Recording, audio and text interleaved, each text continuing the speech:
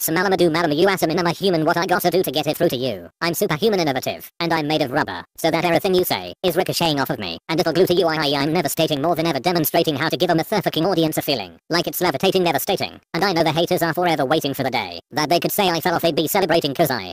know the way to get em motivated I make elevating music